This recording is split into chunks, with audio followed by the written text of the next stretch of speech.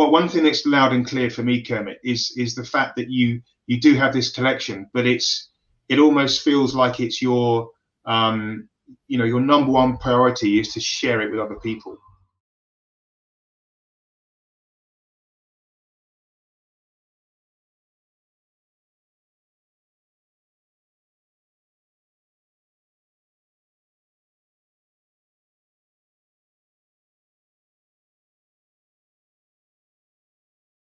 Did you ever believe you would have this um, this business, this collection, this this wonderful thing to share? Because well, one thing that's loud and clear for me, Kermit, is is the fact that you you do have this collection, but it's it almost feels like it's your um, you know your number one priority is to share it with other people. You know, to allow people to have that experience that you want to offer at Fantasy of Flight to improve their lives. And and again, just like Aerobility, you're using that as a tool for their, you know, for, to, to, to support their their dreams and ambitions. And and I I can vouch for the uh, the Fantasy of Flight experience. I, I visited there myself, uh, and and it is pretty profound. It's an awesome place to go. But tell us about that vision you had, and when did it start? Well, it was interesting when I if if my friends had told me what I would be doing in the future back then, I would have thrown my hands up and said, There's no way. There's no way. And so, what they've done, and hopefully everyone's guidance or whatever you want, they'll only give you what you need and they'll bring you slowly, slowly this way. And all of a sudden, I find myself down the road like, oh my God. I mean, I live so far outside the fringes of most people's reality that I just, I, I have to pinch myself at times. So it was a, I didn't realize I was following the energies because at that time early on, I was being nurtured along on my path. But eventually I began, and it wasn't a blinding flash of light, it was going slowly over a hump. And I began to realize it was happening. And eventually I began to learn to connect in ways that became very, very manifest, you know, became more of a way of life. And that's developed. Uh, and now I, I literally, I sit down every day and I'm talking to my friends and, and I get all sorts of fascinating information. And like I said, the collection is just an aspect of Kermit Weeks. It's not my whole life. And what's going to happen here is is part of what I'm creating and I've been led to create is to stand on Walt Disney's shoulders and what he left me, okay, and literally created an entirely new industry. If you go back and bear with me, I would uh, I would uh, put on the table that imagine the traveling gypsy bands going around entertaining, blah blah blah. Okay, well at some point that evolves into a giant Barnum and Bailey Ringling Brothers circus, okay? And now that's the greatest freaking thing that's happening. But the circus only came to town so many times and then people started thinking, well, what can we do to where we can, you know, have something all the time? And so out of the evolution of the circus came the amusement park industry. Coney Island, Palisades Park. Okay, now we got Ferris wheels, wooden roller coasters, Tunnel of Love, bumper cars. Okay, and you know all sorts of games and stuff. So that became the next industry. And by the way, the circus is now defunct after 146 years. There's cycles in every industry. And basically, in 1955, Walt was at the amusement park uh, convention in Chicago. He laid out his plans for Disneyland they all said he's crazy. You're going to lose your tail. They're either irrelevant or they're out of business. Okay. Well, mm-hmm. you're seeing the beginning of the demise of the existing industry that Walt started and pendulum swing in society. You have to understand what Walt segue was. Walt segue was in America, we had just come out of World War II and Korea, and we didn't have to deal with the aftermath of the cleanup. We came home to our thing. The women were in the workforce, 2.3 kids. We got a great interstate system to take our campers around Americans and not look at devastation. And it was leave it to beaver time. That was Walt's segue. And so Mickey Mouse, wow, and all this stuff, we were looking to escape from reality. Well, now reality is staring us in the face and we're going to have to deal with it. Okay. So, what I'm going to do is stand on Walt's shoulders and create the next industry. But it's not about entertainment as an end product. The existing industry uses entertainment as a means to entertain you, and they basically focus on external spectacularism. Okay, which mm-hmm. is uh, which is great. It's fun. Oh my God! It's they've developed it to the nth degree using amazing technology and stuff. What I want to do is I want to create something instead of uh, you know, you're on a roller coaster with 49 other people and it's a five minute whoopie doo experience. And like, oh, let's get back in line again. Where's the next one? Because you eat it like popcorn. What yeah. I want to do is I want to create things to use entertainment as a means to an end, to your own self discovery and self transformation. You walk into my theme park, one person, there's a sign outside that says, warning, once you step beyond these gates, you may not leave the same person. Okay. You basically go in, we don't tell you anything. We, everything we have is common to the human experience. There's no value system, doing something new, accepting limitations that others place upon you, things like that. We'll use aviation stories to deliver that that were real because everything I'm going to deliver is based on things that are real, where I would say the existing industry basically is not. Okay. Yeah. And so our mission statement is to light that spark within, which is you bringing what you truly are into this reality of light and expressing it in your own unique way. You change yourself inside. You leave a different person and nobody knows what went on if I can deliver that, I'm onto something really, really big. And I think you're going to see the planet is going to be ready for something like that. Uh, you're going to be seeing uh, a little bit of the waning of the existing industry. And I think when I finally come out with this, everybody's going to go, oh my God, this is so obvious. Why didn't somebody think of this? And the world's going to be ready for it. So, so instead mm-hmm. of, you know, going to the current theme park industry and being a hero in their intellectual property. I want you to come to Fantasy of Flight as a reverse deal, as a wellspring source of your own self inspiration. And when you leave, there's going to be a sign that says, and for anybody who's been a Fantasy of Flight, you've always noticed why my welcome mats face out the door. It's always been that way since day one.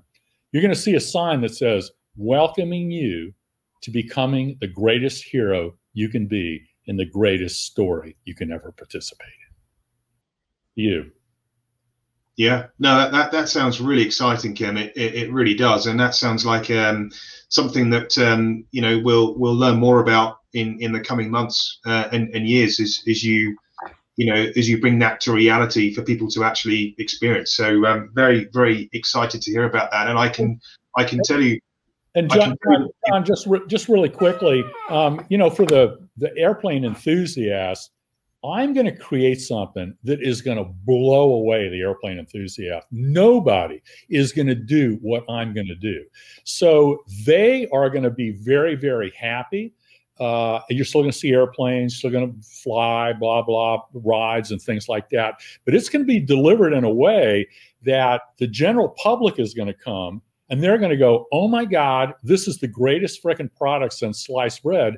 Oh, and by the way, those airplanes are actually pretty cool. So I'm kind of creating a win win situation where the non aviation enthusiast is going to leave with a better uh, and a broader uh, you know appreciation for what aviation can mean metaphorically yeah. and potentially like i said instead of this many people like in old airplanes maybe we get a, a smaller piece of the biggest freaking pie, which is seven and a half billion people. Yeah, yeah, yeah. Wow, wow. I'm I'm ready. I'm ready. I'm ready to hear more. That that sounds really really fascinating. And and Mike and I were just about to burst into conversation about our views on our uh, experience at Fantasy of Flight. So I. I think I said to you a couple of days ago, Kermit. You know, I um, I asked my wife to marry me two days before I visited Fantasy of Flight, and she's still here. Uh, and then I hope that wasn't the honeymoon. no, it wasn't. Well, I I would have loved to have made it my honeymoon, and I and I purchased this in the gift shop. Um, and uh, I, I highly recommend it to everybody listening. Um, I4 head west towards Tampa, and do not do not pass Fantasy of Flight because if you do, you'll be very disappointed. Um, but uh, if if I could focus a little bit, um, you talked about the enthusiasts and, and the the airheads. Um, so, I, you know, where do we start? Um, I'm not going to ask your favorite airplane. I'm not going to ask you the one that you'll sell last if you had to. Um, but can you, for those of us watching who haven't been to Fantasy of Flight, Kermit, from an a- aircraft perspective, you know, when you walk in, what do you see? I mean, you, you, if I'm not mistaken, your earliest aircraft is 1913. Your most recent aircraft is a 1956. You've got 140 plus aircraft in the collection, all of which uh, have either flown, do fly, or will be flying. You you must have a team of restorers and mechanics. You know, I mean, just put us in there. Put us in there. In the life of. Well, it's interesting. I mean, obviously, I was my first employee, and I was my first mechanic, and uh, you know, built and all that stuff. And at the the, the Weeks Air Museum, uh, for people that haven't looked at some of my, and please everybody check out KermitWeeks.com. I got a YouTube channel that's got tons of great, cool videos checking out in World War One airplanes and P-51s and stuff. I've also got a Facebook deal. What I realized was, and I use as a metaphor all great stories come in three acts okay?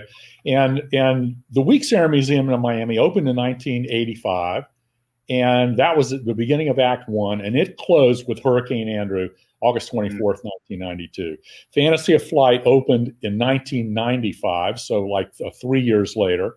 And uh, that was basically act two. I closed act two in 2014 so the the facility that you would have come to with the restaurant and the Art Deco and all that stuff, that is currently closed to the public. I lost my butt for so 18 and a half years. And we tried for a year by cutting costs down, cutting the staff down, cutting our hours down. And about nine months into that year, the writing was on the wall. And I said, look, I need to shut this down. I would rather take the money I'm losing, which was a lot, and put it towards the development of what I now understand I'm supposed to be creating. So I shut the doors in 2014, but then a year later, I realized, you know, hey guys, I still have a lot of trademarks. I've got uh, a sign out on the interstate that I don't really want to lose. I needed to have a gift shop open to maintain my trademark status uh, because I've got all these trademarks that I've got for the future concept. So we opened, we had a little hangar across the way. So right now I've got a little boring museum light. It's signs, ropes, a few kiosks. you got to realize the, the facility that was the original Fantasy of Flight was only originally ever designed to be my shop. This is Fantasy of Flight, the original facility where my office and the two hangars and the restaurant were, and two other buildings, and eventually a, a, a third one, fourth one, is going to be literally my dream restoration and maintenance facility. Okay, so we've shut down that. We're turning like this hangar is going to be my restoration hangar, and uh, you know we're turning this eventually into the dream shop restoration thing. And where people used to come in the arched gate entrance, which was always the entrance, there's a big open field.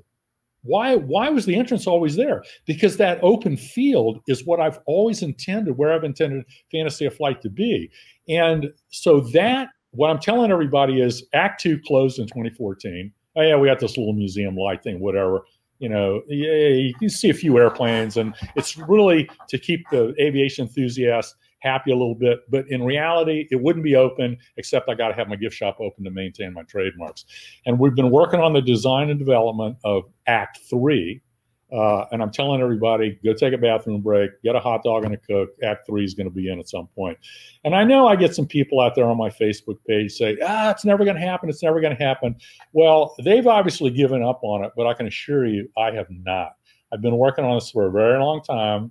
I've got a lot invested in this. It's not just the airplanes, there's a long term goal and dream of which the airplanes and stuff are a part of. And yeah, yeah I own 140 airplanes, but there's also a not for profit that owns about two dozen airplanes, most of which I've donated.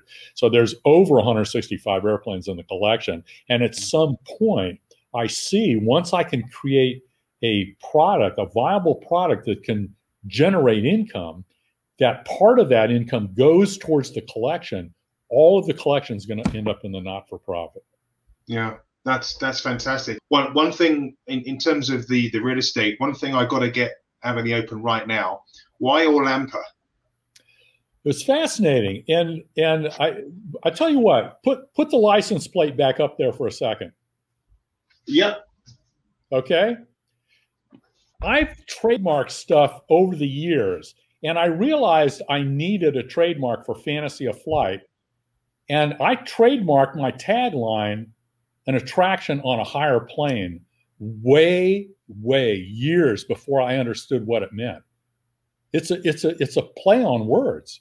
Yeah. Not only is it a tourist attraction on a higher airplane, in other words, a higher standard within the industry, but it's literally you saying, "Come this way." It's your higher self leading you beyond yourself, and and you, you put that down now. But basically, how where the Orlampa thing came into, I when I left Miami looking for property, before I ever opened the Weeks Air Museum in 1985, I was looking for property in Central Florida because I realized, oh my God, I outgrew the collection before I ever opened the doors. And I'm thinking to myself, I'm not going to go through five years of permitting with an with an airport authority, and I don't even own the building. I need to go to Central Florida where the tourist industry is. So I started looking for land, and I had three uh, requirements, which I didn't real at the, realize at the time, but my friends had dumped into my head. The first one was I needed great tourist access, which I've got. Okay. The second one was a 5,000 foot runway to get my heavier and faster airplanes in. And the third thing was water access to fly vintage seaplanes in their natural environment. I know of no museum on the planet where they have a vintage airplane museum and they fly seaplanes. Yeah. And so, yeah, so this view right there is actually looking from potentially what's going to be the top of a control tower. And I'm explaining that area down behind me there. And the seaplane base will be behind me there with a lake. Yeah. Uh, that's the end of my short runway. But that whole open area there is basically where Act Three is going to be. And that's what we're working on the design now. So, Orlampa, I didn't realize it, but I realized at some point I was exactly 40 minutes to the doorstep of the Tampa and the Orlando airport. Okay. And it was interesting. I purchased a piece of property for something told me to collect some property. I've been collecting property myself for 30 years now. Okay. And people don't really realize how much property I've got, but I've got more than what Universal started with when they originally started in Orlando. Okay. And uh, it's going to blow some people away at some point uh, with the with the potential. It's potential, you know, but I've we have master planned kind of the bigger picture. Um, and so the Orlampa deal, when we bought this piece of property, I thought, well, yeah, you know, we could put put it was kind of over on the corner where you got off, and I'm going, yeah, we could put a McDonald's in and make a bunch of money in short term, this and that. And by this time, you know, I'm talking to my friends, and they said, yeah, well, you could do that, but you know, there might be some reason why you want to, you know, save it for later or something. You know, they they never tell me what to do they always lay out options and I follow those energies and I've never been wrong. And it hmm. was interesting. The realtor, we were talking about this, he said, what we ought to do is we ought to come up with a name that defines the location. And my focus went like that. And I want to explain a little bit of a metaphor here for people to, to begin to learn to trust this connecting through the strings deal. John, if you and I walk into a party and there's 100 people there and 50 conversations, when we walk into that party, it's just white noise. Okay? It's mm. just white noise.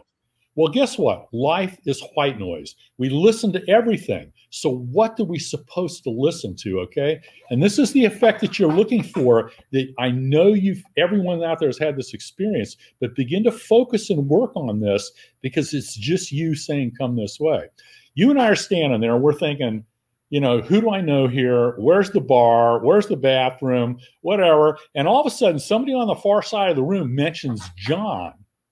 Your focus goes, whoosh, doesn't even phase me. It's not in my world. You're in phase with that. You're in resonance with that. And when things happen spontaneously and you go, it's life getting saying pay attention to this okay? So hmm. each of you out there begin to play with this and learn how to work with it because it's just you working with you. So with the orlampa deal i thought about that and my focus was like why am i supposed to pay attention to that?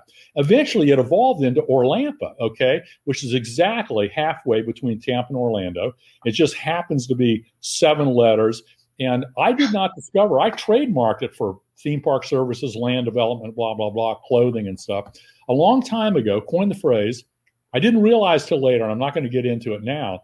There is so much meaning in that that word that it blew me away later. And it ties in with the same thing like an attraction on a higher plane.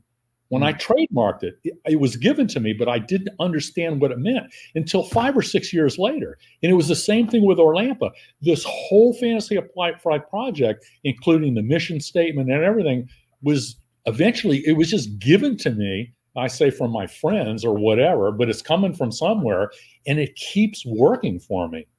Yeah. Yeah, that's that's incredible, and and you know I um I think that in terms of location and accessibility, uh, it doesn't get much better. Uh, um, you know, in, in, in terms of getting in by air or by by road, and and um, you know, I think uh, you've you've absolutely got to follow your, you know, where the direction you need to go. And and um, in terms of the in terms of the aircraft that are there, um, I know you and I had a brief chat before we went live, and um, you know, I uh, I think we'll be here till Friday afternoon if we speak about every single one of your aeroplanes. But I know you love British aeroplanes, but in I think was it '94 uh, you you bought the Sunderland, but uh, but that's okay because you kept it flying. I'm sure. I'm sure if it stayed in the UK, it, it probably would have not uh, ended up flying and stayed in a museum somewhere. So, uh, are we flying it now? No, I've kind of been there, done that. But what's going to happen is in the future, fantasy of flight is all about potential.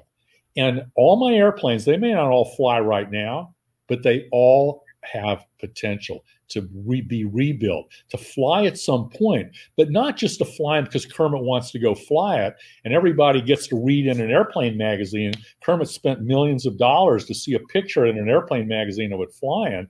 You know, no, I've been there, done that. I'm trying to create a sustainable business that will perpetuate this. Uh, maybe not for you to see it fly again, but maybe for your grandkid to see it fly again. Okay. You know, yeah. I mean, I, I expect it'll fly again in, in my lifetime. Maybe, maybe not. But, you know, but the potential is going to be there. And I'm trying to lay that foundation now. So, you know, I think we all tend to live in a society that we want everything right now. We just keep popping popcorn in our deal. And, you know, seeing things that really have value and meaning take time to bring into this reality. And that's what I'm trying to do. Yeah, absolutely.